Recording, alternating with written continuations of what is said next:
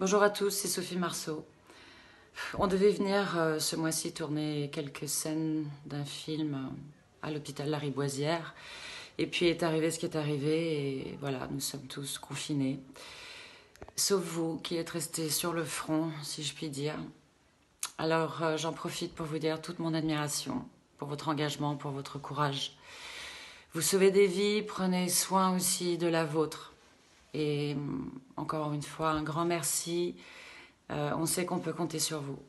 Je vous embrasse tous très très fort, très très fort. Bonjour, je vous adresse ce message pour vous remercier.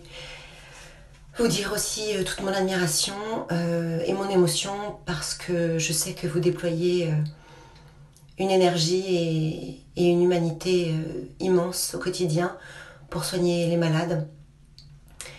Voilà, je voulais vous assurer aussi de notre euh, respect euh, le plus grand des mesures euh, de confinement qui nous sont imposées et, à nouveau vous dire toute ma gratitude.